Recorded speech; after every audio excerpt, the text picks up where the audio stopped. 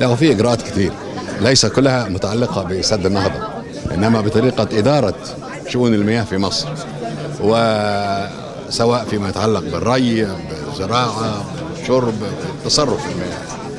فإحنا عايزين نعيد النظر في طريقة التعامل مع المياه الموجودة سواء مياه نهر النيل أو المياه الجوفية أو المياه آه، اللي ممكن تحليتها. إحنا عندنا 3000 كيلومتر شواطئ.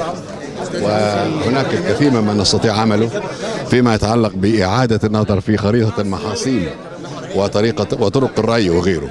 ده من ناحية. من ناحية تانية لابد من الحفاظ على حقوقنا آه، في المياه آه، آه، وده يتطلب عمل دبلوماسي وسياسي وقانوني وغير ذلك. وأعتقد إنه الجولة الأخيرة اللي قام بها وزير الخارجية والجولات والتركيز على إفريقيا أصبح مسألة آه، آه، أساسية في الحركة السياسية إزاء هذا الموضوع.